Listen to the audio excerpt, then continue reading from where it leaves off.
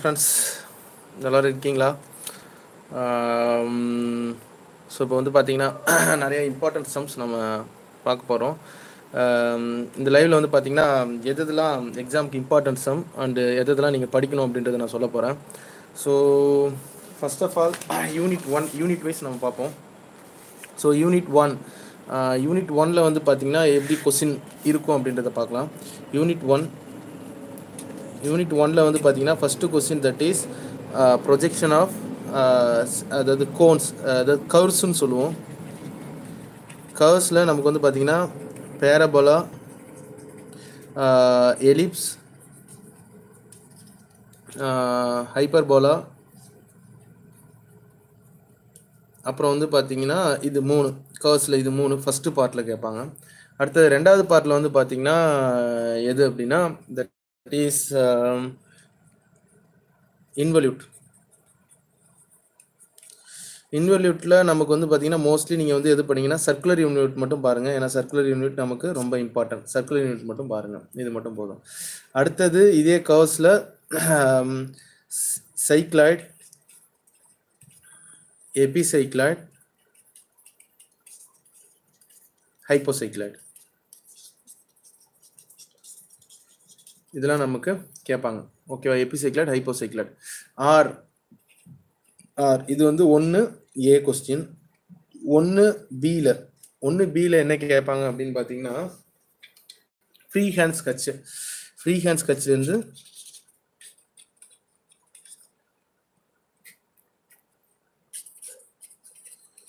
ஃபஸ்ட்லேருந்து ஒரு சம் கண்டிப்பாக கேட்பாங்க ஓகேவா ஸோ அப்போ இதுக்கு டுவெண்ட்டி மார்க் இதுக்கு டுவெண்ட்டி மார்க் கொடுத்துருப்பாங்க இதில் நம்ம எதனா ஒரு கொஸ்டினை அட்டன் பண்ணோம் என்னை பொறுத்த வரைக்கும் இந்த பார்ட் நமக்கு ரொம்ப ஈஸி ஸோ அதனால் நீங்கள் என்ன பண்ணுங்கள் இந்த இந்த பார்ட்டோடைய கொஸ்டினை அட்டன் பண்ணுங்கள் ஓகேவா இந்த பார்ட்டோடைய கொஸ்டினை அட்டன் பண்ணுங்கள் இந்த பார்ட் நமக்கு ரொம்ப ஈஸியாக இருக்கும் அடுத்தது வந்து பார்த்தீங்கன்னா யூனிட் டூவில் projection of lines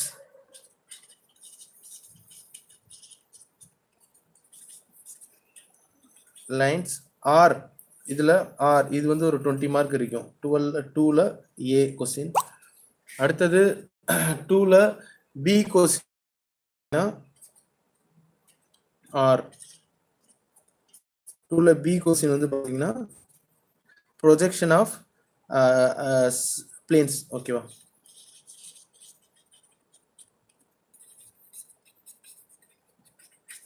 இது வந்து ஒரு டுவெண்ட்டி மார்க்கு கேட்பாங்க ஓகேவா ஸோ இப்போ இதில் ரெண்டுத்தில் நீங்கள் என்னோட என்னை பொறுத்தவரைக்கும் இம்பார்ட்டன்ட் பார்ட்னா இந்த ப்ரொஜெக்ஷன் ஆஃப் பிளேன்ஸ் இது நீங்கள் படிச்சுன்னா நீங்கள் ஈஸியாக நம்மளால் பாஸ் பண்ண முடியும் அதுக்கப்புறமா லைன்ஸில் நிறைய சம் இருக்குது ஸோ அதை விட கம்பேர் பண்ணும்போது நமக்கு பிளேன்ஸ் ரொம்ப ஈஸியாக இருக்கும் அடுத்தது யூனிட் த்ரீயில் யூனிட் த்ரீயில் நம்ம வந்து பார்த்திங்கன்னா first one that is three A three வந்து பார்த்திங்கன்னா projection of solids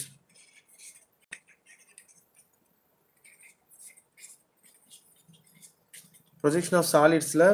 ஒன்று ப்ரமிட் படிங்க இதுக்கு ஒரு டுவெண்ட்டி மார்க்கில் கொஸ்டின் வரும் ஆர் அப்படி இல்லைன்னா தேர்டு பியில் ப்ரொஜெக்ஷன் ஆஃப் சாலிட்ஸில்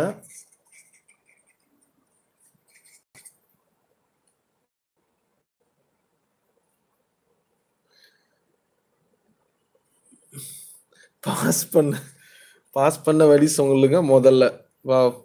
அதை தான் சொல்லிட்டு இருக்கேன் ஸோ ப்ரொஜெக்ஷன் சாலிட்ஸில் ப்ரிசம் ப்ரிசமில் டுவெண்ட்டி மார்க் ஓகேவா ஸோ இது ரெண்டுத்தில் ப்ரமிட் ப்ரிசம் இதில் எதனா ஒன்று நீங்கள் படிச்சிங்கன்னா கண்டிப்பாக நீங்கள் என்ன பண்ண முடியும் ஈஸியாக அட்டன் பண்ண முடியும் இது ரெண்டுத்தில் நான் எதுன்னு சொல்ல முடியாது நீங்களே உங்களுக்கு எது ஈஸியோ அதை பார்த்துக்கோங்க ஸோ அடுத்தது வந்து பார்த்தீங்கன்னா ஃபோர்த் யூனிட் யூனிட் ஃபோரில் யூனிட் ஃபோரில் தட் இஸ் ஃபோர் ஏல section of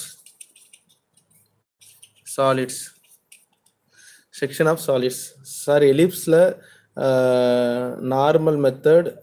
த்ரெட் மெத்தட் வருமா அதான் சொல்கிறேன் சொல்கிறேன் சொல்கிறேன் சொல்கிறேன் ஸோ அதுதான் சொல்ல போகிறேன் வெயிட் பண்ணுங்கள் அதுதான் சொல்ல போகிறேன் ஸோ செக்ஷன் ஆஃப் சாலிட்ஸில் செக்ஷன் ஆஃப் சாலிட்ஸ் ஒரு சம் வரும் ஆர் ஆர் வந்து பார்த்தீங்கன்னா ஃபோர் பியில் development of solids development of solids வரும் ஓகேவா ஸோ இதில் செக்ஷன் ஆஃப் சாலிட்ஸ் படிச்சிங்க அதுதான் நமக்கு ஈஸி ஓகேவா அதுதான் நமக்கு ஈஸி அதனால் செக்ஷன் ஆஃப் சாலிட்ஸ் நீங்கள் மேக்ஸிமம் படிச்சுக்கோங்க டெவலப்மெண்ட் நமக்கு ரொம்ப லேட் ஆகும் அதனால் டெவலப்மெண்ட் நம்ம அப்புறம் பார்த்துக்கலாம் அடுத்தது யூனிட் ஃபைவ்ல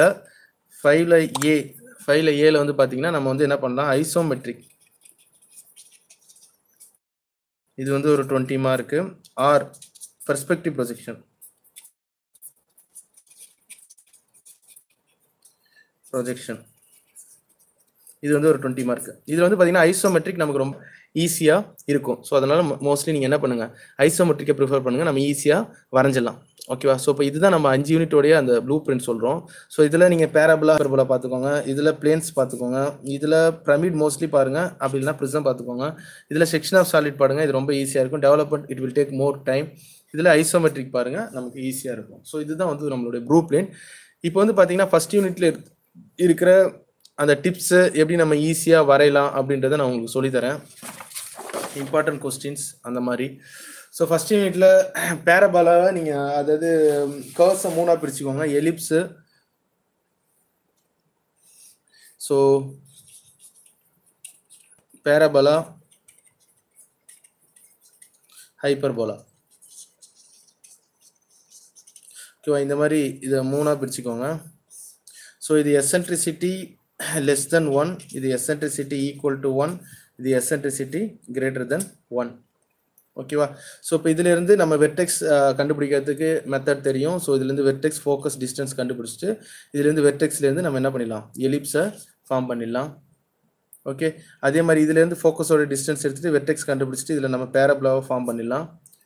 அதுலேருந்து அதே மாதிரி இதுலேருந்து வெட்ரிக்ஸோட ஃபோக்கஸோட டிஸ்டன்ஸ் கண்டுபிடிச்சி இதுலேருந்து என்ன பண்ணலாம் நம்ம ஹைப்பர் போலாவை ஃபார்ம் பண்ணிடலாம்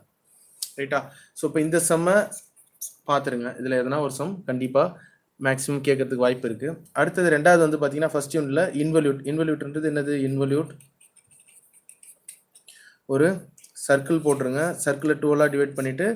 நம்ம என்ன பண்ணலாம் இங்கேருந்து இதோட சர்க்கம்ஃபரன்ஸ் எடுத்துகிட்டு இது எல்லாத்துக்கும் பர்பண்டிகுலர் லைன்ஸ் நம்ம வரைஞ்சோம்னாக்கா இதுலேருந்து நமக்கு என்ன பண்ணும் இன்வல்யூட் கிடைக்கும் இந்த இன்வல்யூட்டை அடுத்தது பார்த்துருங்க இது கொஞ்சம் ஈஸியான வே தான் அடுத்தது இன்வல்யூட்டுக்கு அடுத்தது சைக்ளாய்டு சைக்ளாய்டில் ஃபஸ்ட்டு ஒரு சர்க்கிள் இருக்குன்னா அந்த சர்க்கிளுக்கு மேலே நம்ம எதனா ஒரு சர்க்கிள் ரோல் பண்ணோன்னா அது வந்து என்னது நார்மல் ஸ்ட்ரெயிட் லைனுடைய சைக்ளாய்டு எபி சைக்ளாய்டு எபிசைக்ளைட் அப்படின்னா இதுலேருந்து டைரெக்டாக இன்க்ளைன் ஒரு சர்க்கிள்குள் மேலே ஒரு சர்க்கிளை நம்ம ரொட்டேட் பண்ணோன்னா அது எபிசைக்ளைன்னு சொல்லுவாங்க இதில் நம்ம கரு இப்படி கிடைக்கும் இது எபிசைக்ளைட் ஹைப்போசைக்ளைடுன்றது என்னது இந்த குள்ளார ஒரு சர்க்கிளை நான் ரொட்டேட் பண்ணேன்னா இதில் இந்த டயக்ராம் எப்படி கிடச்சிதுன்னா இது ஹைப்போசைக்ளைட் இதில் இம்பார்ட்டண்ட்டாக சார் கொஸ்டின் பேப்பரில் என்ன சம் இருக்குது அதை மட்டும் நடத்துங்க கொஸ்டின் பேப்பர் எனக்கு தெரியாது பட் இருந்தாலும் நான் இம்பார்ட்டன்ட் சம் சொல்கிறேன் அந்த சம் வர்றதுக்கு வாய்ப்பு இருக்குது ஓகேவா ஸோ இப்போ இதில் இந்த சம் எல்லாம் ஃபஸ்ட் யூனிட்ல நம்ம பார்த்துட்டு இதோட ஒரு இம்பார்ட்டன்ட் சம் ஒன்று இருக்குது ஸோ இந்த இம்பார்ட்டன்ட் சம் என்னென்னா ஒரு கான்கேவ் இல்லை கான்வெக்ஸ் லென்ஸு கொடுத்துட்டு அந்த சர்க்கிள்குள்ளாரே இன்னொரு சர்க்கிள் ரொட்டேட் ஆகிற மாதிரி ஃபார் எக்ஸாம்பிள் இது இதோட சர்க்கிளோட டயமீட்டர் ஃபிஃப்டி எம்எம்னா இன்னொரு பெரிய சர்க்கிளோட டயமீட்டர் ஃபிஃப்டி ஓகேவா ஸோ அப்போ அது ஃபிஃப்டி டுவெண்ட்டி ஃபைவ்னா இந்த சர்க்கிள்குள்ளார இந்த சர்க்கிள் ரொட்டேட் ஆகிற மாதிரி இருக்கும் ஸோ இப்போ இந்த சர்க்கிளை நீங்கள் இங்கே வரைஞ்சிங்க அப்படின்னா இந்த பெரிய சர்க்கிள் ஆப்போசிட்டாக இங்கே கிடைக்கும் ரைட்டா ஸோ இப்போ இது இப்படி கிடச்சிதுன்னா இது நமக்கு ஹைப்போசைக்கிளான்னு சொல்லுவாங்க இந்த சர்க்கிளை நீங்கள் டிவைட் பண்ணிவிட்டு இதுலேருந்து ஒரு ஒரு பாயிண்ட்டாக நம்ம என்ன பண்ணுறோம் இங்கே மார்க் பண்ணிங்கன்னா இந்த சைக்கிளை இப்படி கிடைக்கும் ரைட்டா ஸோ இந்த மாதிரி சம் கேட்கறதுக்கு நிறைய வாய்ப்பு இருக்கு அதனால என்ன பண்ணுங்க இந்த சம்ம படிச்சுக்கோங்க இந்த சம்ம படிச்சுக்கோங்க ரைட்டா இந்த செம் கேட்கறதுக்கு நிறைய வாய்ப்பு இருக்கு ஐ மீன் எக்ஸாமுக்கு மற்றதெல்லாம் இது எல்லாத்தையும் அப்படியே பார்த்துட்டு வந்துருங்க பார்த்துட்டு வந்துட்டு இந்த சமயம் படிச்சிருங்க ஓகேவா ஸோ அடுத்தது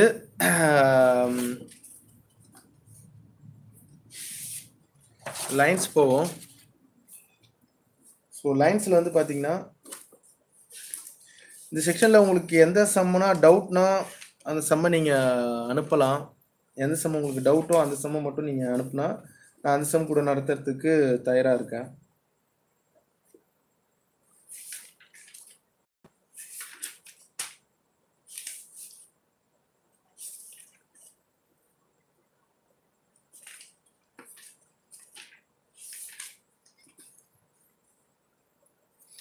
ஸோ வந்து பார்த்தீங்கன்னா ப்ரொஜெக்ஷன் ஆஃப் லைன்ஸ் லைன்ஸில் ஒரு ஆறு மெத்தட் இருக்குது அந்த ஆறு மெத்தட் நீங்கள் தெரிஞ்சுக்கிட்டிங்கன்னா தான் லைன்ஸ் போட முடியும் அதுக்கு முன்னாடி நம்ம பிளேன்ஸ் ஈஸியாக பிளேன்ஸை படிச்சுட்டு அதுக்கப்புறம் லைன்ஸ் படிங்க ஸோ அப்போ பிளேன்ஸில் இம்பார்ட்டன்ஸ் எது எதுன்றதை நான் இப்போ சொல்ல போகிறேன் ஸோ பிளேன்ஸில் மொத்தமாக எத்தனை பிளேன்ஸ் இருக்குன்றத பாருங்கள் ஃபஸ்ட் எடுத்தோன்னே என்ன இருக்குது ஒரு ட்ரையாங்குலர் பிளேன் இருக்கா அடுத்தது ஒரு ஸ்கொயர் அடுத்தது என்ன இருக்குது ஒரு பிளேன்ஸ் நடத்துங்க ஆமாம் பிளேன்ஸ் தான் நடத்துகிறேன் பிளேன்ஸ் தான் நடத்துகிறேன் கே பாருங்கள் இதில் இம்பார்ட்டன்ட் கொஸ்டின் கண்டிப்பாக உங்களுக்கு தெரியும்னு நினைக்கிறேன் sir page number three seventy three sum thirty please three seventy three three seventy த்ரீல என்ன சம் இருக்குது three seventy three three seventy three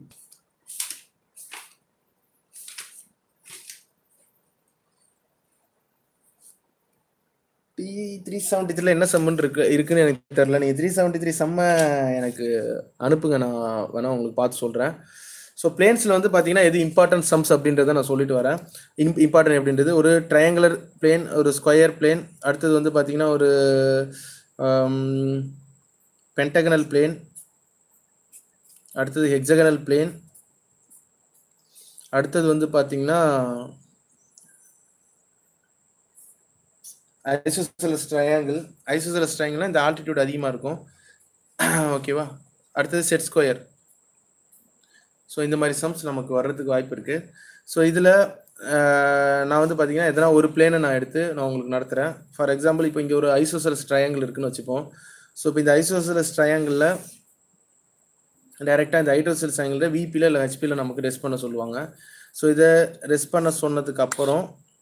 இதை ரெஸ்ட் பண்ண சொன்னதுக்கப்புறம் 206, sir. Sum number 12, page number 206. Sum number 12, page number 206.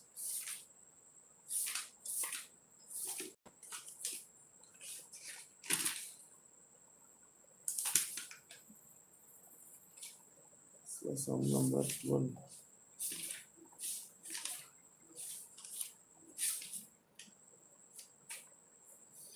Sum number twelve page number two nought சிக்ஸில் இருக்கிற circular plane தானே நான் சர்க்குலர் பிளேன் ஏற்கனவே நடத்தியிருக்கேன் ஐ மீன் யூடியூப் இது வீடியோவில் நீங்கள் போய் பார்த்தீங்கன்னாவே உங்களுக்கே தெரியும்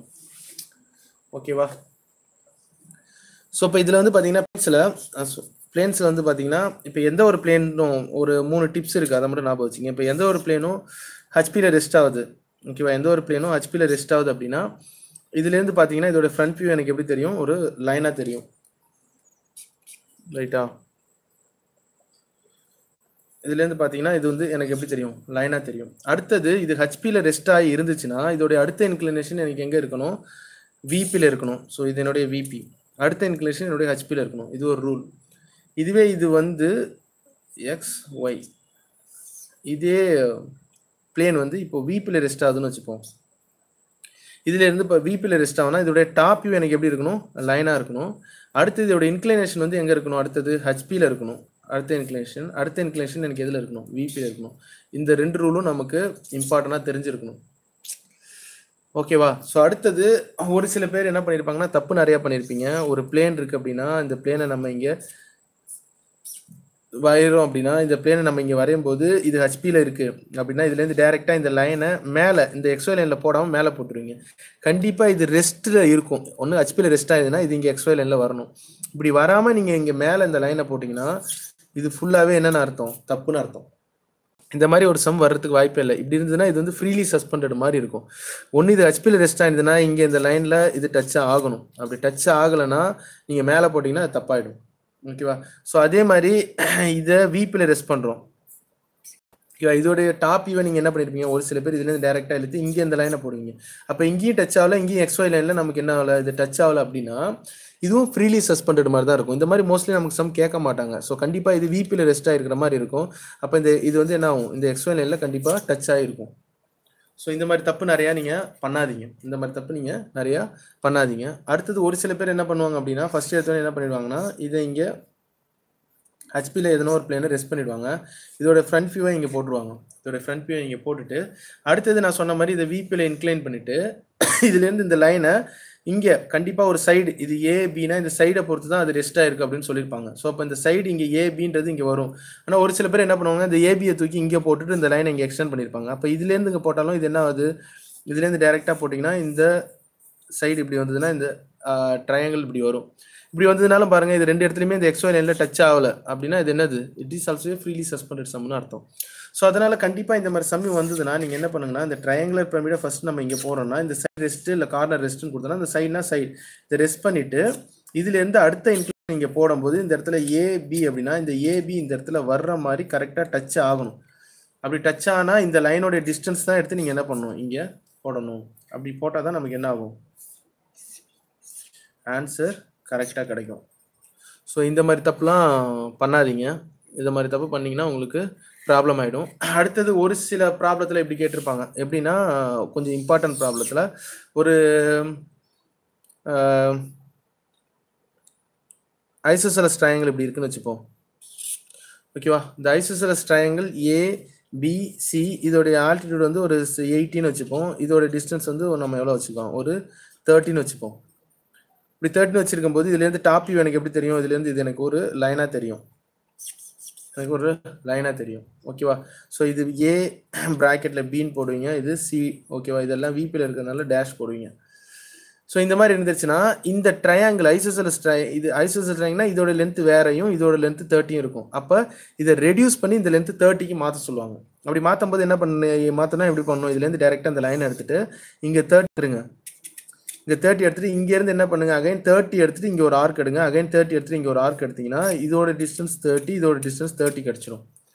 அப்படி தேர்ட்டி கிடைச்சுனா இது என்ன இருக்குன்னு அர்த்தம் இங்கே இன்க்ளைண்டாக இருக்குன்னு அர்த்தம் அப்போ அந்த இன்க்ளைனேஷன் கண்டுபிடிக்கணும் இதுலேருந்து டேரெக்டாக இந்த பாயிண்ட்டை ஜாயின் பண்ணிட்டுனா இந்த இடத்துல இருக்கிறது ஏ ஒன் பி ஒன்னாக இருக்கும் இதிலேருந்து இந்த இன்க்ளினேஷனுக்கு என்ன பண்ணுங்கள் இந்த லைனை ஆட்டோமேட்டிக்காக மேலே இன்க்ரீஸ் பண்ணிவிடுங்க கீழே இன்க்ரீஸ் பண்ணிட்டு இதோட டிஸ்டன்ஸ் இருக்குல்ல இந்த டிஸ்டன்ஸ் எடுத்து டைரெக்டாக என்ன பண்ணுங்கள் இங்கே ஆர் கட் பண்ணுங்கள் அப்படி ஆர் கட் பண்ணனா இந்த லைன் எவ்வளோ இன்க்ளைண்ட் ஆயிருக்குன்றது நமக்கு தெரிஞ்சிடும் இதுக்கப்புறம் வேறு ஏதாவது ஒரு போர்ஷனில் இந்த சைடை பொறுத்து இன்க்ளைன் பண்ண சொல்லியிருப்பாங்க இந்த சைடை நம்ம எடுத்துகிட்டு இந்த சைடை இங்கே போட்டுட்டு இதுக்கப்புறம் இதோடைய டாப் வியூவை நம்ம இங்கே டைரெக்டாக வரைஞ்சோம்னா இது இப்படி இன்க்ளைண்ட் ஆகிருக்க மாதிரி இருக்கும் இது எனி டிகிரி அவங்க கொடுத்துருப்பாங்க ஸோ அப்போ இது வந்து என்னது இது இந்த இந்த டைமென்ஷன்லேருந்து இந்த டைமென்ஷனை குறைக்கிறது இதே மாதிரி எதை குறைக்கலாம் இங்கே இருக்கிற ரெக்டாங்குலர் பிளேனை ரெக்டாங்குலர் பிளேனாக இருந்தால் அதை ஸ்கொயராக குறைக்கலாம் அதே மாதிரி இங்கே இருக்கிற ஐசோசலஸ் ட்ரையாங்கிள் இந்த சைடு வேறு இருக்குல்ல அதை ட்ரையாங்கிளாக குறைக்கலாம் ஸோ அந்த மாதிரி நம்ம என்ன பண்ணலாம் சேஞ்ச் பண்ணலாம் இந்த மாதிரி சம் என்னது வெரி வெரி இம்பார்ட்டன்ட் ஸோ இதையும் கொஞ்சம் பார்த்துக்கோங்க இந்த மாதிரி சம்மும் நிறையா கேட்பாங்க மற்றபடி பிளேன்ஸ் எப்படி ரெஸ்ட் பண்ணுறது அப்படின்றத நான் என்ன பண்ணுறேன் சொல்கிறேன் பிளேன்ஸை எப்படியெல்லாம் ரெஸ்ட் பண்ணலான்றத நம்ம போடுறோம்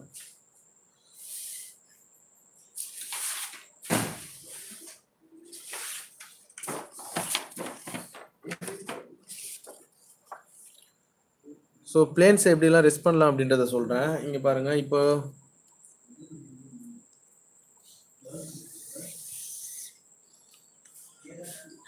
ஒரு பென்டகன் ஹெக்ஸகன் இதை எடுத்துப்போம் ஸோ இப்போ ஒரு பென்டகனல் பிளேனை நீங்கள் இப்படி ரெஸ் பண்ணுறீங்க அப்படின்னா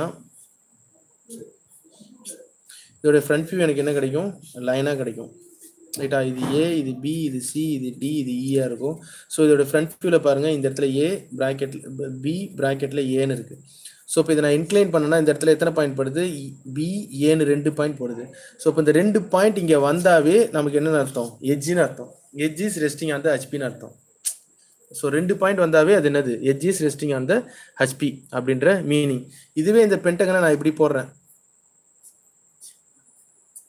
இப்படி போடுறேன்னா இதுலேருந்து டேரெக்டாக இதை நேராக மேலே எடுத்துருங்க மேலே எடுத்துட்டா இந்த இடத்துல ஏ டிஇன்னு e வரும் ஸோ இப்போ இந்த இடத்துல பார்த்தீங்கன்னா நம்ம இந்த போர்ஷன் மட்டும் ஞாபகம் வச்சுப்போம் இந்த இந்த இடத்துல இந்த இது இது என்னுடைய ஃப்ரண்ட் வியூவாக இருக்கும் இதை நான் இன்க்ளைன் பண்ணால் இந்த இடத்துல எனக்கு என்ன பண்ணுது ஏ மட்டும் தான் படுது இப்படி இந்த ஏங்கிற ஒரு பாயிண்ட் பட்டுதுன்னா இந்த இடத்துல ஒரு பாயிண்ட் தான் இருக்குது ஸோ அப்போ அந்த ஒரு பாயிண்ட் வந்ததுன்னா பிளேன்ஸில் corner is resting on the ஹச்பின்னு அர்த்தம்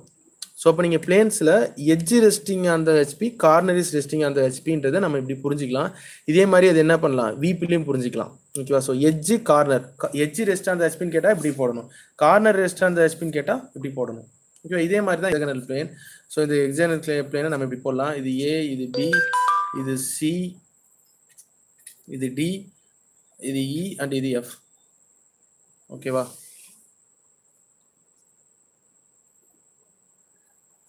இதனுடைய எஃப் ஸோ இப்போ இதுலேருந்து டைரெக்டாக இதை நம்ம மேலே எடுத்துன்னு போயிடலாம் மேலே எடுத்துகிட்டு போனால் இங்கே எனக்கு எனக்கு என்ன கிடைக்கும் ஒரு லைன் கிடைக்கும் இப்படி இந்த லைன் கிடச்சுன்னா இந்த இடத்துல ஏபி இருக்கா ஸோ இப்போ இதுலேருந்து பார்த்தீங்கன்னா பி ப்ராக்கெட்டில் ஏ இந்த போர்ஷன் மட்டும் கான்சென்ட்ரேட் பண்ணுவோம் அப்போ இதுலேருந்து நம்ம இன்க்ளைன் பண்ணால் இந்த இடத்துல என்ன வருதும் பி ஏ வருது இதுலேருந்து டைரெக்டாக கீழே எடுத்தோம்னா இதே மாதிரி எனக்கு என்ன கிடைக்கும் இங்கே ஒரு ஹெக்ஸகன் கிடைக்கும்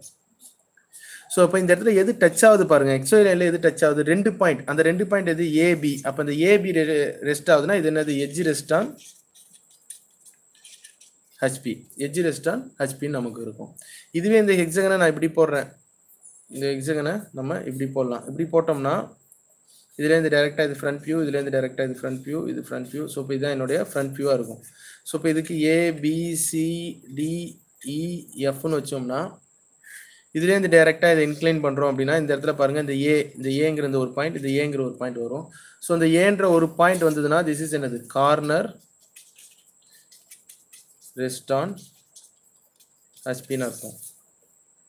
ஓகேவா ஸோ இதை வச்சு நீங்கள் எஜ்ஜி கார்னர் ஈஸியாக புரிஞ்சிக்கலாம் எல்லாத்துக்குமே இதே தான் நமக்கு வரப்போகுது இப்போ ஒரு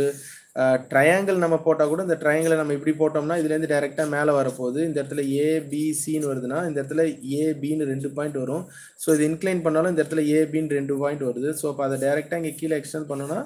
எஜ்ஜிஸ் ரெஸ்டான் என்னென்னு வரும் ஹச்பின்னு வரும் எஜ்ஜி ரெஸ்டான் ஹச்பின் தான் வரும் இந்த ரெண்டு பாயிண்ட் வந்தாவே எஜ்ஜி ரெஸ்ட் ஸோ இதை கார்னரை பொறுத்து போனால் இந்த ட்ரையாங்கிளை நம்ம என்ன பண்ணுவோம் இப்படி போடுவோம் இது இப்படி போட்டோம்னா இந்த இடத்துல ஏபிசின்னு வருதுன்னா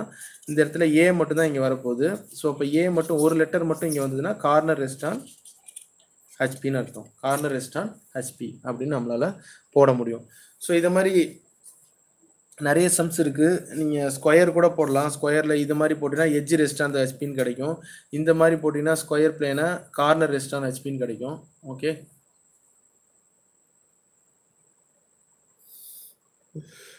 you told this already just tell me the importance sum importance sum தான் நான் சொல்லிட்டு இருக்கேன் என்னுடைய வீடியோவை நீங்கள் ஒழுங்காக கவனிச்சா அதில் இம்பார்ட்டன்ஸ் சம்மும் சேர்த்து தான் சொல்லிட்டு இருக்கேன் ரைட்டா ஸோ நல்லா கவனிச்சிட்டே வாங்க உங்களுக்கு இம்பார்ட்டன்ஸமும் தெரியும் ஸோ இதெல்லாம் வந்து பிளேன்ஸ் ஸோ பிளேன்ஸில் நான் இம்பார்ட்டன்ஸ் சம்மும் உங்களுக்கு சொல்லியிருக்கேன்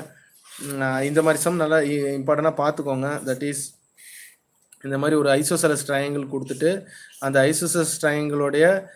டிஸ்டன்ஸ் எயிட் எம்எம் இது தேர்ட்டி எம்எம்னா mm கொடுத்துட்டாங்கன்னா அதை ட்ரையாங்கிளாக மாற்றோம்னா நம்ம என்ன பண்ணலாம் இது தேர்ட்டி இது தேர்ட்டி இது தேர்ட்டி ஸோ அப்போ இங்கேருந்து தேர்ட்டி டிஸ்டன்ஸ் இந்த டிஸ்டன்ஸ் அப்படியே இங்கே ட்ரேஸ் பண்ணிவிட்டு இங்கேருந்து தேர்ட்டி ஒரு ஆர்க்கு இங்கேருந்து தேர்ட்டி ஒரு ஆர்க் எடுத்து நம்ம என்ன பண்ணலாம் இதோட டிஸ்டன்ஸ் மெஷர் பண்ணி இதுலேருந்து இந்த போர்ஷனை கண்டுபிடிச்சோம் அப்படின்னா எனக்கு என்ன கிடைக்கும் இதோட இன்க்ளினேஷன் கிடைக்கும் இதெல்லாம் இம்பார்ட்டன்ஸ் சம் அதுதான் நான் இம்பார்ட்டன்ஸ் சம் தான் சொல்லிட்டு இருக்கேன் ரைட்டா சம் சம்மா என்னால் சொல்ல முடியாது பட் இதான் ரூல் ஓகே ஸோ அடுத்தது சாலிட்ஸில்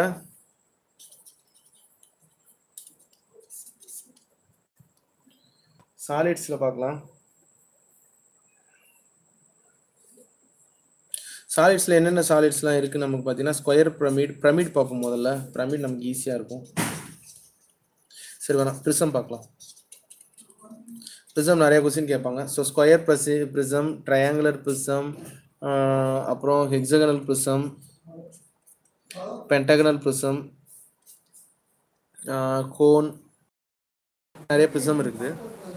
ஸோ இந்த ப்ரிசமில் இம்பார்ட்டன்ட் சம் அப்படின்னு நம்ம பார்க்குறோம் அப்படின்னா எதனாச்சும் ஒரு ப்ரிசம் நம்ம எடுத்துக்கலாம் இந்த ப்ரிசமில் ரொம்ப இம்பார்ட்டண்டாக ஒரு சம் நம்ம சொல்லணும்னா இந்த ப்ரிசம் இப்படி இருக்குன்னு வச்சுக்கோம் ஒரு ஹெக்ஸகனல் ப்ரிசம் வந்து ஒரு ஹெக்ஸகனல் ப்ரிசம் வந்து ஹச்பியில் இப்படி ரெஸ்ட் ஆகுது ஹச்பியில் இப்படி ரெஸ்ட் ஆகுது அப்படி resting on the HP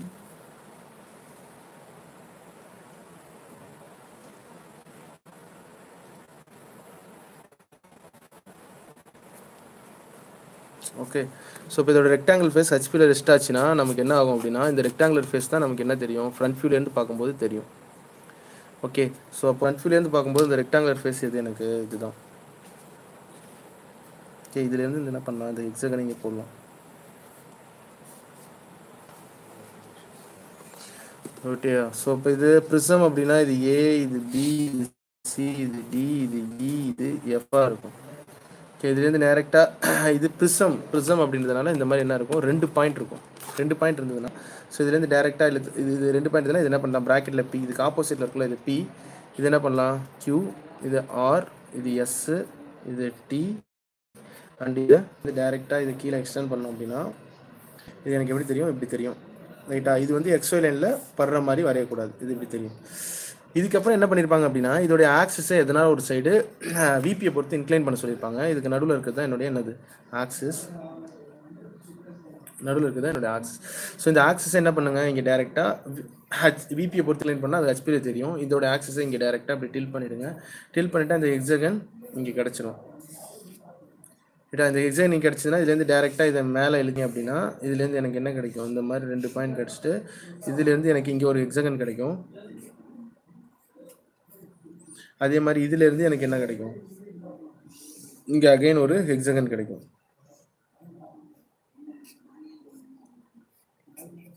ரைட்டா ஸோ இப்போ இது எல்லாத்தையும் ஜாயின் பண்ணீங்கன்னா இந்த ஹெக்ஸகனல் பிரிசம் நம்ம என்ன பண்ணிடலாம் போட்டுடலாம் ஸோ இது வந்து ரெக்டாங்குலர் ஃபேஸ் ஜஸ்டிங் அது எச்பி ரெக்டாங்குலர் ஃபேஸ்னா இங்கே பாருங்க இந்த இடத்துல நமக்கு எத்தனை பாயிண்ட் வந்திருக்கு நாலு பாயிண்ட் இருக்கா ஸோ இந்த நாலு பாயிண்ட் வந்தாவே அது என்னென்ன அர்த்தம்னா rectangular faces resting on the ஹெச்பின்னு அர்த்தம் ஸோ இந்த சம் கொஞ்சம் இம்பார்ட்டன்ட் சம் இந்த சம்மை நீங்கள் என்ன பண்ணிக்கோங்க பார்த்துக்கோங்க இந்த சம் இந்த மாதிரி சம் நமக்கு கேட்கலாம் அது மட்டும் இல்லாமல் இந்த ப்ரிசமில் வேறு எஜ்ஜு கார்னர் ரெஸ்ட் பண்ணுற மாதிரி எதனாச்சும் ஒரு ப்ரிசம் எடுத்துக்கலாம் நமக்கு ஹெக்ஸகன் எடுத்துக்கலாம் இது ரெக்டாங்குலர் ஃபேஸஸ் ரெஸ்டிங் அந்த ஹச்பி இதே மாதிரி பென்டகனுக்கும் ரெக்டாங்குலர் ஃபேஸ் ரெஸ்ட் பண்ணலாம் இதே மாதிரி எக்ஸகனுக்கும் ரெக்டாங்குலர் ஃபேஸ் ரெஸ்ட் பண்ணலாம் அதே மாதிரி ஸ்கொயருக்கும் ரெக்டாங்குலர் ஃபேஸ் ரெஸ்ட் பண்ணலாம் இந்த ரெக்டாங்குலர் ஃபேஸ் எப்படி ரெஸ்ட் பண்ணுறதுன்றது நீங்கள் பார்த்துக்கோங்க நான் எக்ஸகனுக்கு மட்டும் எக்ஸாம்பிளுக்கு வரைஞ்சிருக்கேன் ரெக்டாங்குலர் ஃபேஸ் இஸ் ரெஸ்டிங் அந்த ஹச்பிக்கு ஓகேவா ஸோ இந்த சம் கொஞ்சம் இந்த மாதிரி சம் கொஞ்சம் இம்பார்ட்டன்ட் சம் இப்போ எஜ்ஜி கார்னர் எப்படி ரெஸ்ட் பண்ணுறதுன்றதை நம்ம பார்க்கலாம் ஸோ ஃபஸ்ட் எடுத்தோடனே என்ன பண்ணுறங்க அப்படின்னா இந்த லைனை இங்கே போட்டுருங்க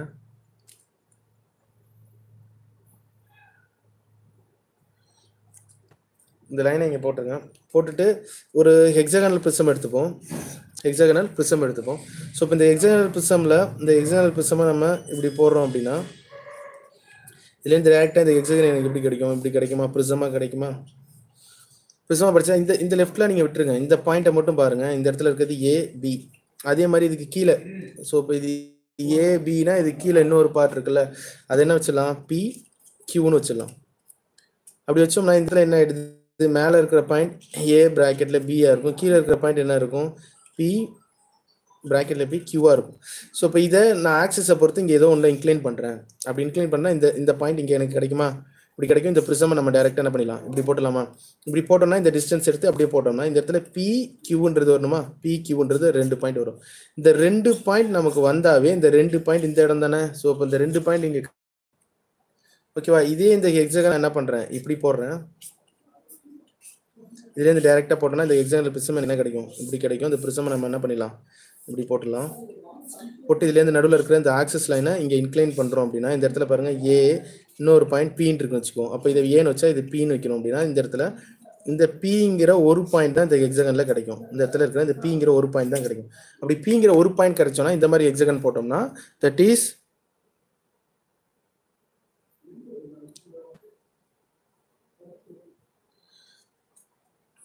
கார்னர் இஸ் ரெஸ்டிங்காக இருந்தால் என்னென்னு அர்த்தம்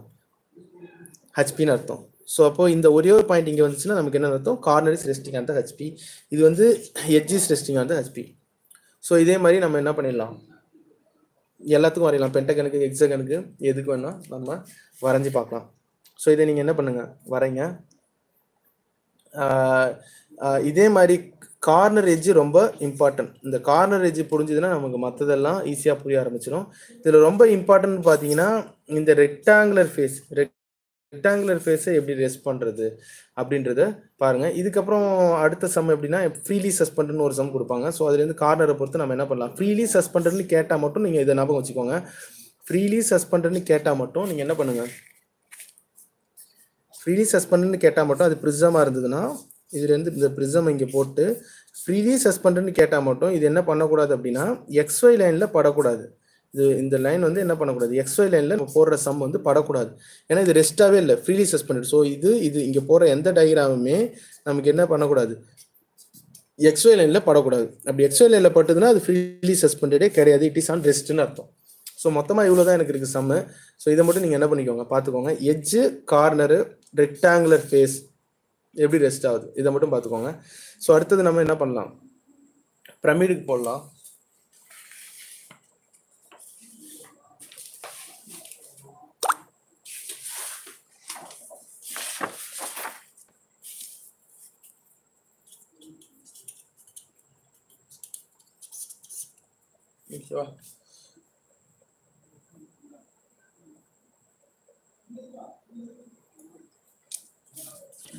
ஸோ பிரமிட்லேயும் சேம் அதே மாதிரி தான் நமக்கு வந்து பார்த்தீங்கன்னா என்னது எஜ்ஜு கார்னர் இதை மட்டும் ரெஸ்ட் பண்ணுறதை விட்டுட்டு ட்ரையாங்குலர் ஃபேஸ் இதை மட்டும் கொஞ்சம் பார்த்துக்கோங்க triangular face rest on the triangular face rest on the விபின்றதை மட்டும் கொஞ்சம் நீங்கள் பார்த்துக்கோங்க ஸோ இப்போ இப்படி இருக்குது triangular face longest edge so இப்போ இந்த ஹெக்ஸகன் ஒரு ஒரு ஹெக்ஸகன் மாடலில் நான் எடுத்துக்கிறேன் பிரமிட்னா இதெல்லாம் என்ன ஆகிடும் எனக்கு இங்கே ஜாயின் ஆகிடும் ஜாயின் ஆகிடும் இதோட ஃப்ரண்ட் வியூ எப்படி இருக்கும் டேரெக்டாக இப்படி இருக்கும் ஸோ இப்போ இந்த இடத்துல இது ஓன் வச்சிட்டோம்னா இது ஏ பின்னு வச்சுருங்க வச்சுட்டு இந்த இடத்துல இருந்து டேரெக்டாக பார்த்தா இது ஏ ப்ராக்கெட்டில் ஏ ப்ராக்கெட்டில் பின்னு வரும் ஸோ இந்த இடத்துல இது ஓன் வரும் அப்போ இந்த இடத்துல மூணு லெட்டர் இருக்குல்ல இந்த மூணு லெட்டர் ஹெச்பியில் ஏ பி அப்படின்னு மார்க் பண்ண அப்படின்னா இந்த இடத்துல மூணு லெட்டர் வருது இந்த மூணு லெட்டர் இது ஓஏபி அப்படி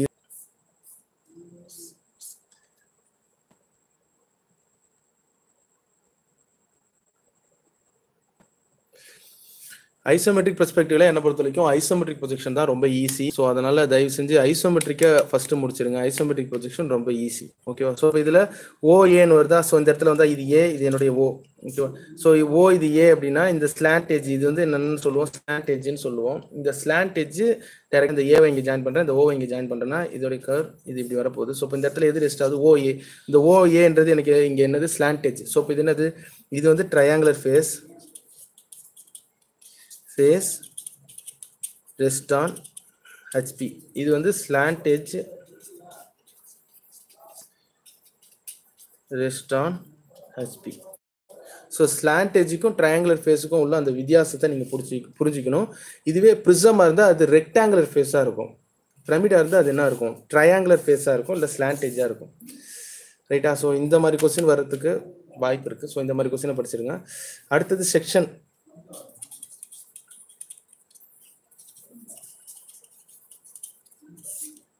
செக்ஷன் ஆஃப் சாலிடில் முக்கியமாக நம்ம என்ன பண்ணுங்க அப்படின்னா செக்ஷன் டெவலப்மெண்ட்டு ரெண்டு இருக்குது கடைசி வரைக்கும் இன்னும் கொஸ்டின் சொல்லு கொஸ்டின் தான் சொல்லிட்டு இருக்காங்க என்ன கொஸ்டின் வருதுன்னு சொல்ல முடியாது ரைட்டா இம்பார்ட்டன்ட் கொஸ்டின் தான் நான் சொல்லிட்டு இருக்கேன் என்ன கொஸ்டின் வரும்னு என்னால் என்ன பண்ண முடியாது சொல்ல முடியாது ஓகே ஸோ அதனால நீங்கள் என்ன பண்ணுங்கன்னா தயவு செஞ்சு நான் இம்பார்ட்டன்ட் சொல்றதெல்லாம் நல்லா பார்த்துக்கோங்க என்ன கொஸ்டின் வரும் ஒரு ஏதோ ஒரு சாலிட் எடுத்தாலும் ஃபர்ஸ்ட் எடுத்தோடனே ஆக்ஸ் வந்து இதே எக்ஸாம்பிள் பிரமில்ல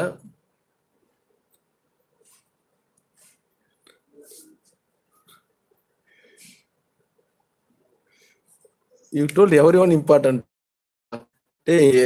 every one important சொல்லலை நல்லா என் லைவை நீ பார்த்தீங்கன்னா தெரியும் நான் இம்பார்ட்டன்ட் கொஸ்டின் நிறைய இம்பார்ட்டன்ட் கொஸ்டின் தான் சொல்லிட்டு இருக்கேன் அந்த கொஸ்டின் மட்டும் உனக்கு டைம் ஆகாது ரைட்டா ஸோ அதனால நீ அதை மட்டும் பாரு ஸோ அடுத்தது வந்து பார்த்தீங்கன்னா அந்த எக்ஸாகனை நம்ம என்ன பண்ணலாம் பிரமிட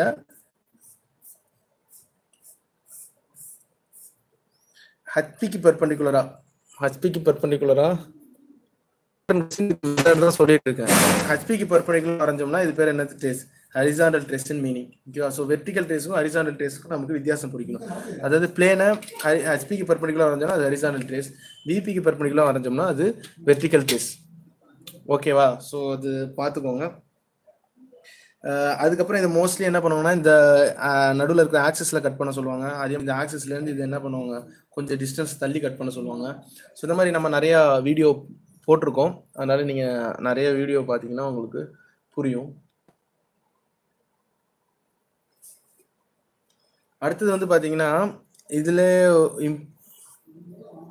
any question for tomorrow exam கொஸ்டினாக நான் சொல்ல முடியாது இம்பார்ட்டண்டாக தான் சொல்ல முடியும் ஓகேவா கொஸ்டினாக என்னால் சொல்ல முடியாது நான் இம்பார்ட்டண்ட்டாக சொல்கிறேன் ஸோ இப்போ இது கூட ஒரு இம்பார்ட்டன்ட் கொஸ்டின் என்ன அப்படின்னா ரொம்ப இம்பார்ட்டன்ட் கொஸ்டின் இது இப்போ நான் சொல்ல போகிற கொஸ்டின் ரொம்ப இம்பார்ட்டன்ட் கொஸ்டின் ரைட் ஸோ இப்போ ஒரு கோன் கொடுத்துருவாங்க ரைட்டாக ஒரு கோன் கொடுத்துருவாங்க கோனோடைய நம்ம ஃப்ரண்ட் வியூ டேரெக்டாக இதோட ஃப்ரண்ட் வியூ கொடுத்துருவாங்க ஸோ இதோடைய ஹைட் கொடுத்துருவாங்க கோனுடைய ஹைட்டு கோனுடைய ஹைட் கொடுத்துட்டு இந்த கோன் ஹைட் ஒரு சில இடத்துல ஒரு சில ப்ராப்ளத்தில் கொடுப்பாங்க இல்லைனா ஒரு சில ப்ராப்ளத்தில் இந்த கோன் ஹைட்டே கொடுக்க மாட்டாங்க பட் எனிவே இதை நம்ம எங்கன்னா கட் பண்ணும்போது பேரபிளா மாதிரி தெரியும்னு சொல்லுவாங்க இது வந்து எப்படி தெரியும்னா பேரபிளா மாதிரி தெரியும் இது இந்த பேரபிளோட டிஸ்டன்ஸ் வந்து இது வந்து ஏதோ ஒரு டிஸ்டன்ஸ் தேர்ட்டி இது வந்து எனக்கு எவ்வளோ கொடுக்கலாம் எயிட்டின்னு கொடுக்குறாங்கன்னு வச்சுப்போம் செக்ஷனில் இந்த மாதிரி கொடுக்குறாங்க அப்படின்னா இதை இங்கேருந்து என்ன பண்ணுங்கள் இதை சர்க்கிளை டிவைட் பண்ணிவிட்டு இந்த சர்க்கிள்லேருந்து ஃபஸ்ட்டு இந்த டிஸ்டன்ஸ் சின்ன டிஸ்டன்ஸ் தேர்ட்டி அங்கே என்ன பண்ணிவிடுங்க மெஷர் பண்ணிவிடுங்க இந்த சின்ன டிஸ்டன்ஸ் தேர்ட்டி இங்கே மெஷர் மெஷர் பண்ணிடுங்க தேர்ட்டியை மெஷர் பண்ணிட்டு இதுலேருந்து டேரெக்டாக இதோட டிஸ்டன்ஸ் இது எயிட்டி கொடுத்துருக்காங்களா இந்த எயிட்டிக்கு இங்கே கட் பண்ணிவிடுங்க கட் பண்ணிட்டுனா இந்த டிஸ்டன்ஸ் நமக்கு கிடச்சிரும் கிடச்சதுக்கப்புறம் இதுலேருந்து இதை மார்க் பண்ணிங்க அப்படின்னா நமக்கு என்ன கிடைக்கும் இங்கே இந்த பேரபிளா ஷேப் கிடைக்கும் பேரபிளா ஷேப் கிடைக்கும் அதுக்கப்புறம் இங்கேருந்து டேரெக்டாக மார்க் பண்ணிங்கன்னா நமக்கு என்ன கிடைக்கும் இந்த இடத்துல இதோட பெர்பண்டிகுலர்லாம் மார்க் பண்ணால் இங்கே ஒரு பேரபிளா கிடைக்கும் ஸோ இப்போ இதுலேருந்து டேரெக்டாக என்ன பண்ணலாம் இந்த கட்டிங் செக்ஷனை நம்ம பேரபிளா ஷேப்பில் கிடைக்கிற மாதிரி வரைய முடியும் இந்த மாதிரி சம் கேட்கறதுக்கும் நிறையா வாய்ப்பு இருக்குது ஓகேவா இதெல்லாம் செக்ஷன்ஸில் கொஞ்சம் இம்பார்ட்டன்ட் சம்ஸு இந்த சம்ஸை பார்த்துக்கோங்க அப்புறம் இதே மாதிரி செக்ஷனில் ப்ரிசமுக்கும் கேட்கலாம் பிரமிடுக்கும் கேட்கலாம் நான் இதெல்லாம் ஒன்றுக்கு மட்டும் தான் எக்ஸாம்பிள் சொல்லியிருக்கேன் நீங்கள் என்ன பண்ணுங்கள் போக போக மற்ற சம்ஸ் எல்லாம் பாருங்கள் ஓகேவா அடுத்தது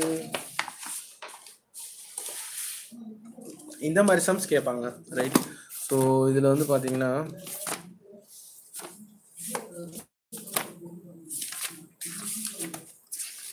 இந்த மாதிரி சம் அடிக்கடி கேட்கறதுக்கு வாய்ப்பு இருக்கு என்னன்னா of base diameter sixty mm and அதோட ஹைட் வந்து பார்த்தீங்கன்னா seventy mm rest vertical and its base அந்த கிரவுண்ட் ஸ்டிங் இஸ் ஊண்டட் ஒரு ஸ்டிங் இல்லை ஒரு ஆண்ட்டு அந்த மாதிரி எதனா ஒன்று ஊண்டாகி போகலாம் ஸோ ஊண்டாகி போச்சுன்னா அது எனக்கு எப்படி தெரியும் அப்படின்றது கேட்பாங்க ஸோ இப்போ அது வந்து என்னது ஒரு ஸ்ட்ரிங் ஆர் ஊண்ட் நமக்கு ஒரு ரிங் போச்சுன்னா ஸோ இப்போ இங்கேருந்து இது என்னாச்சு இங்கேருந்து டைரெக்டாக இது வந்து இங்கே வந்து எப்படி இருக்கு அதான் பெர்ஸ்பெக்டிவ்ல என்னை பொறுத்த வரைக்கும் ஐசோமெட்ரிக் ரொம்ப ஈஸி தயவு செஞ்சு ஐசோமெட்ரிக்கே படிங்க அது ரொம்ப ஈஸி பெர்ஸ்பெக்டிவ் இன்வர்சம் கோனா பேஸ் டயமீட்டர்ல ஒரு ஸ்ட்ரிங் இல்லை ஆண்ட் கூட இப்படி ஊண்ட் ஆகுது அப்படின்றத கேட்பாங்க ஸோ இப்போ இந்த ஸ்ட்ரிங்ஸை பார்த்தீங்கன்னா இதோட டாப் எப்படி இப்படி இருக்கும் இதோட ஃப்ரண்ட் வியூ இப்படி இருக்கும் ஸோ இந்த மாதிரி சங் சம் நிறைய கேட்பாங்க ஸோ இப்போ இந்த சர்க்கிளை வரைஞ்சிட்டு டேரெக்டாக இதை டூலா டிவைட் பண்ணிட்டு இதுலேருந்து இதோட ஃப்ரண்ட் வியூ வரைஞ்சிட்டு இது எல்லாத்தையும் இங்கே ட்ரூல் எடுத்துக்கு நம்ம ட்ரேஸ் பண்ணிட்டு இதுல இருந்து என்ன பண்ணலாம் இந்த இந்த டெவலப்மெண்ட்டை வரைஞ்சிட்டு இந்த டெவலப்மெண்ட்டோடைய ஆங்கிள் கண்டுபிடிச்சிட்டு அந்த ஆங்கிள்லேருந்து இதோடைய ஷார்ட்டஸ்ட் டிஸ்டன்ஸ் கண்டுபிடிச்சிட்டு இந்த ஷார்ட்டஸ்ட் டிஸ்டன்ஸ்லேருந்து இங்கே நம்ம ஆர்க் வரையலாம் ஸோ இப்போ இந்த மாதிரி சம் நிறைய இடத்துல கேட்குறாங்க இது வந்து டெவலப்மெண்ட்டில் வரும் உங்களுக்கு ஓகேவா இந்த சம் வந்து இந்த மாதிரி சம் வந்து டெவலப்மெண்ட்டில் நமக்கு கிடைக்கும் ஸோ அடுத்தது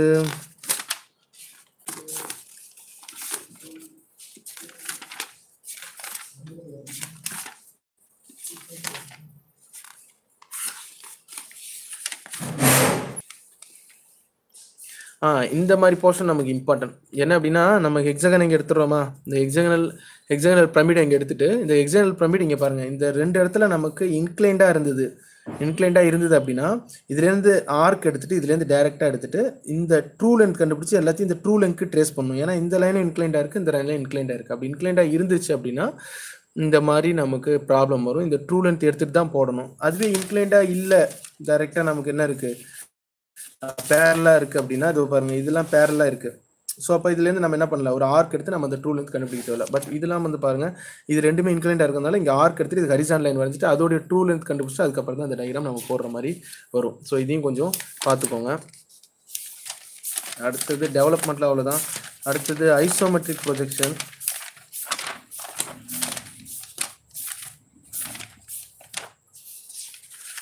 ஐசோமெட்ரிக் ப்ரொஜெக்ஷன் உங்களுக்கே தெரியும் ஐசோமெட்ரிக் ப்ரொஜெக்ஷனில் இந்த மாதிரி தேர்ட்டி டிகிரி நம்ம லைன் இன்க்ளைன் பண்ணிவிட்டு அந்த தேர்ட்டி டிகிரிக்கு ஒரு ஒரு எக்ஸகனாக நம்ம பாயிண்ட் வரைஞ்சிக்கிட்டே வருவோம் ஸோ அந்த தேர்ட்டி டிகிரி லைன் இன்க்ளைன் பண்ணிட்டு ஒன்று ஒன்றா வரீங்க இதில் இம்பார்ட்டன்ட் சம்முன்னு பார்த்தீங்கன்னா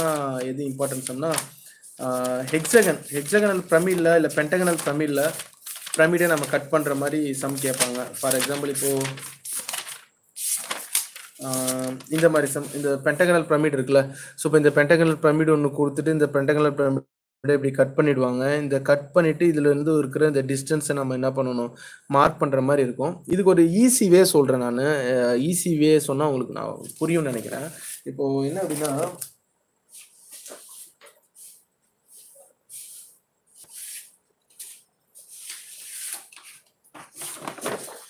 என்ன அப்படின்னா இப்போ ஒரு எதனா ஒரு ஹெக்ஸகனல் பிரமிட் கொடுக்குறாங்கன்னு வச்சுக்கோங்க இந்த ஐசோமெட்ரிக் போடுறதுக்கு இது ஒரு ஹெக்ஸகனல் பிரமிட்னா இது ஒரு ஹெக்ஸகனல் பிரமிட்னு வச்சுப்போம்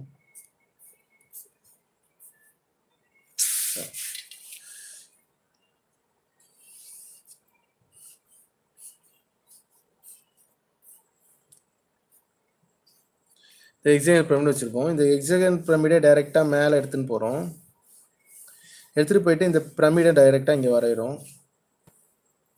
வரைஞ்சிட்டு இதோட ஆக்சஸ் இங்கே கொடுத்துருப்பாங்க இதை டேரெக்டாக என்ன பண்ணலாம் இங்கே ஜாயின் பண்ணிடலாம் ஜாயின் பண்ணிவிட்டு இதுலேருந்து இதோட டிஸ்டன்ஸ் எடுத்துகிட்டு இது என்ன பண்ணிவிடுவாங்க எப்படி கட் பண்ண சொல்கிறாங்கன்னு வச்சுப்போம் எப்படி நம்ம கட் பண்ணுறோம் இது வெர்டிக்கல் ட்ரேஸ்னு வரும் ரைட்டா அது வெர்டிக்கல் ட்ரேஸ் இது வெர்டிக்கல் ட்ரேஸ்னு வரும் ரைட்டா அது வெர்டிக்கல் ட்ரேஸ்னு இருக்கும் இப்படி கட் பண்ணும்போது இந்த கட் பண்ணுற போர்ஷன் நம்ம என்ன பண்ணுவோம் இது எக்ஸாம்பிள் இது ஏ இது பி இது சி இது டி இது இ e, இது எஃப்னு வச்சுட்டோம்னா இது எனக்கு என்ன இதுதான் என்னுடைய பிரமிடாக இருக்கும் நடுவில் ஆர்ஜின் இது அப்படி கட் பண்ணும்போது இந்த கட்டிங் போர்ஷன் நம்ம கண்டுபிடிக்கலாம் இப்போ இதுலேருந்து இது என்னது இது ஏ டேஷ் இது என்னோட என்னோட பி டேஷ் ப்ராக்கெட்டில் எஃப் டேஷ் இது சி டேஷ் ப்ராக்கெட்டில் இ டேஷ் இது டி டேஷ் இது ஓ டேஷ் இப்போ இதில் நேம் வைக்கும்போது பாருங்கள் இந்த இடத்துல இந்த கட் ஆகிற பாயிண்ட் நம்ம கண்டுபிடிக்கும் அப்படின்னா ஓக்கும் ஏக்கு நடுவில் கட் பண்ணுறத ஒன்றுன்னு வைப்போம் அடுத்தது ஓக்கும் பிக்கு நடுவில் கட் பண்ணுறத என்ன பண்ணுவோம் டூன்னு வைப்போம் ஓக்கும் சிக்கு நேராக கட் பண்ணுறது டூ டேஷ் இதில் த்ரீ டேஷ் இது மாதிரி டேஷ் வச்சுக்கோங்க இது என்ன பண்ணுவோம் ஃபோர் டேஷ்னு வைப்போம் இதுக்கப்புறம் இதில் ஈக்கு e நேராக கட் ஆச்சுன்னா இதை ஃபைவ் டேஷ்னு வைப்போம் இதை சிக்ஸ் டேஷ்னு வைப்போம் இதெல்லாம் ப்ராக்கெட்டில் வைப்போம் இப்படி கட் ஆனதை நம்ம என்ன பண்ணலாம் ஐசோமெட்ரிக்காக நீங்கள் வரையணும் அப்படின்னா இதை என்ன பண்ணுவோம் நம்ம திரும்பி இதை கீழே ட்ரேஸ் பண்ணுவோம் ஒன்லேருந்து கீழே ட்ரேஸ் பண்ணோம்னா இந்த ஒன்னுக்கு நேராக ஒரு பாயிண்ட் கிடைக்கும் அதே மாதிரி இந்த டூலேருந்து ட்ரேஸ் பண்ணால் இந்த டூக்கு நேராக ரெண்டு பாயிண்ட் கிடைக்கும் இது டூ இது ஃபைவாக சிக்ஸாக இருக்கும் இதுலேருந்து இங்கே ட்ரேஸ் பண்ணோன்னா நமக்கு நான் இங்கே ரெண்டு பாயிண்ட் கிடைக்கும் இது த்ரீ இது ஃபைவாக இருக்கும் இதுலேருந்து ட்ரேஸ் பண்ணால் நமக்கு ஃபோருங்கிற ஒரு பாயிண்ட் கிடைக்கும் one two three four five six so இப்போ இதுதான் நம்மளோட கட் செக்ஷனாக கிடைக்கும் ஓகேவா இதான் நம்மளுடைய கட் செக்ஷனாக கிடைக்கும் இப்போ நான் இதில் என்ன சொல்ல வரேன்னா இந்த ஐசோமெட்ரிக்காக நீங்கள் வரைவீங்கல்ல இந்த ஐசோமெட்ரிக்காக வரையும்போது இது தேர்ட்டி டிகிரி இதை தேர்ட்டி டிகிரி வரைஞ்சிட்டு இந்த ஸ்கொயரை இங்கே வரைஞ்சிருவீங்க ஐ மீன் இதை ஸ்கொயராக ஃபார்ம் பண்ணிவிட்டு ஓகேவா இப்போ இந்த ஸ்கொயராக ஃபார்ம் பண்ணிட்டு வரையும் போது இந்த சைடு கட் தான் இங்கே என்ன நம்பர் ஒன் டூ த்ரீ ஃபோர்னால் இந்த செகண்ட் பாயிண்ட்டை இங்கே வச்சுக்கோங்க வச்சுட்டு இந்த ஹெக்ஸகனை நம்ம இங்கே வரைச்சிடலாம் ஒன்ல இருந்து இது டூனா இது த்ரீ இது ஃபோர் இது அகைன் ஒன் ஸோ டூலேருந்து த்ரீக்குள்ளே ஒரு பாயிண்ட் டி இருக்குது இதுலேருந்து த்ரீலேருந்து ஃபோருக்குள்ளே ரெண்டு பாயிண்ட் இ e, இது எஃப்னு இருக்கும் இதுலேருந்து ஒரு ரெண்டு பாயிண்ட் என்ன இருக்குது ஒன்லேருந்து ஃபோருக்குள்ளே ஒரு பாயிண்ட் ஏன்னு இருக்கும் அடுத்து இதில் என்ன இருக்குது பிசின்னு இருக்கும் ஸோ இதெல்லாம் ஜாயின் பண்ணால் நமக்கு என்ன கிடச்சிரும் இங்கே என்னுடைய என்ன கிடச்சிரும் எக்ஸாம் கிடைச்சிருது இல்லையா இதில் நான் என்ன சொல்ல வரேன்னா இதில் இம்பார்ட்டண்டாக ஒரு இது சொல்ல வரேன் என்ன அப்படின்னா இந்த இடத்துல பாருங்கள் இந்த பிளாக் கலர் லைன் இதுலேருந்து இங்கே கட் ஆயிருக்கா அடுத்து இதுலேருந்து இங்கே கட் ஆயிருக்கா ஓகேவா இங்கே இங்கே ரெண்டு பாயிண்ட் கட் ஆயிருக்கா இதுலேருந்து பாருங்கள் இங்கே ரெண்டு பாயிண்ட் கட் ஆயிருக்கு இதுலேருந்து பாருங்கள் இங்கே ஒரு பாயிண்ட் கட் ஆயிருக்கு இந்த பாயிண்ட்டை நம்ம ஈஸியாக கண்டுபிடிக்கிறதுக்கு என்ன வழினா இது எல்லாமே இதில் இருக்குது பேரலில் தானே இருக்குது அப்போ காம்பஸில் இதுலேருந்து இந்த லைன் ஃபோர் ஃபோர்லேருந்து த்ரீக்குள்ளே தான் இருக்குது ஃபோர்லேருந்து த்ரீக்குள்ளே அப்போ இதுலேருந்து இந்த லைனோட டிஸ்டன்ஸ் எடுத்து இங்கே ஒரு லைன் ஆர் கட் பண்ணிவிடுங்க இதுலேருந்து அடுத்த லைனோட டிஸ்டன்ஸ் எடுத்து அடுத்த ஆர்க் இதுலேருந்து அடுத்த லைனோட டிஸ்டன்ஸ் எடுத்து அடுத்த இதுலேருந்து அடுத்த ஒரு டிஸ்டன்ஸ் அடுத்த ஆர்க் எடுத்தீங்கன்னா இதில் என்ன பண்ணலாம் இதை டேரெக்டாக இதுக்கு பேரலாக போட்டுடலாம் போட்டு ஏன்னா இந்த லைன் எல்லாமே இதுக்கு பேரலாக இருக்குது அதுக்கப்புறம் இந்த எஃப்லேருந்து இங்கே தானே இருக்கிறது ஒன் பாயிண்ட் இதுலேருந்து டேரெக்டாக எடுத்து ஒன் பாயிண்ட் போட்டுருங்க அதுக்கப்புறம் இதில் டேரெக்டாக எடுத்தீங்கன்னா இந்த லைனோட டிஸ்டன்ஸ் எடுத்தீங்கன்னா இது சிக்ஸ் இது என்ன பண்ணிடலாம் டூன்னு போடலாம் அடுத்து இந்த பாயிண்ட் எடுத்திங்கன்னா இது என்ன பண்ணலாம் ஃபைவ் இதை த்ரீன்னு போட்டுடலாம் அடுத்தது இன்னும் ஒரே ஒரு பாயிண்ட் இருக்குது ஃபோர் இந்த ஃபோர்னு போட்டலாம் ஸோ இப்போ ஒன் டூ த்ரீ ஃபோர் இதெல்லாம் கிடைக்கும் இது நேராக நேரம் என்ன பண்ணுங்கள் ஒன் டூ த்ரீ ஃபோர் இது எல்லாத்துக்கும் என்ன பண்ணிவிடுங்க லைனை எக்ஸ்டெண்ட் பண்ணுறங்க எக்ஸ்டெண்ட் பண்ணிட்டா இப்போ இதோட ஹைட் இங்கே ஈஸியாக கிடைக்கும் ஒரு ஒரு ஹைட்டையும் நம்ம என்ன பண்ணிடலாம் ஈஸியாக மார்க் பண்ணிட்டா ஒன்லேருந்து டூ டூலேருந்து த்ரீ த்ரீலேருந்து ஃபோர் ஃபோர்லேருந்து ஃபைவ் ஃபைவ்லேருந்து சிக்ஸ் இப்படி மார்க் பண்ணிட்டா நமக்கு என்ன கிடச்சிரும் இங்கே ஈஸியாக எக்ஸாம்பிள் பிரச்சனை பிரிசமாக ப்ரமிடை கட் பண்ண மாதிரி நமக்கு என்ன கிடச்சிரும் கிடச்சிரும் ரைட்டா ஸோ இதை மாதிரி நமக்கு வரையறது இதுக்கு பாருங்க பேரல் லைன் போட்டுட்டு வரீங்க அப்போதான் நமக்கு ஈஸியாக இருக்கும் ஓகே ஸோ இந்த மாதிரி சம் கேட்கறதுக்கு நிறையா வாய்ப்பு இருக்கு ப்ரெஸ்பெக்டிவ்ல பெர்ஸ்பெக்டிவ்ல உங்களுக்கே தெரியும் இந்த பிக்சர் பிளேன் இந்த பிக்சர் பிளேனை நல்லா பார்த்துக்கோங்க அந்த பிக்சர் பிளேன் வரைஞ்சதுக்கப்புறம் இங்கே ஒரு நம்மளுடைய டாப்பியூனா டாப்பியூ அதை இங்கே வரைஞ்சிருவோம் வரைஞ்சதுக்கப்புறம் இதுலேருந்து இருக்கிற இ ஸ்டேஷன் ஸ்டேஷன் பாயிண்ட்டை கண்டுபிடிங்க அதுக்கு டேரெக்டாக ஸ்டேஷனாக இருக்க நேராக இ e டேஷ் ஒன்று வரீங்க அதுக்கு கீழே பண்ணுங்கள் கிரவுண்ட் பிளேன் வரீங்க இதெல்லாம் இம்பார்ட்டன்ட் இதை வரைஞ்சதுக்கப்புறம் தான் நம்ம என்ன பண்ண முடியும் இங்கே இருக்கிற செம்மை சால்வ் பண்ண முடியும் இதுக்கு நான் நிறையா வீடியோ கொடுத்துருக்கேன் உங்களுக்கு ஸோ அந்த வீடியோவை நீங்கள் போய் பாருங்கள் அப்போ தான் உங்களுக்கு புரியும் பட் இதெல்லாம் ஒரு இம்பார்ட்டன்ட் சம் இந்த ஹெக்ஸகனை கட் பண்ணுற சம் அதுக்கப்புறம் நான் நடத்துகிற மாதிரி பிளேன்ஸில் எப்படி ரெஸ்ட் பண்ணுறது அப்படின்ற சம்லாம் நமக்கு இம்பார்ட்டன்ட் சம் அந்த சம்லாம் கொஞ்சம் பார்த்துக்கோங்க Uh, so thank you for watching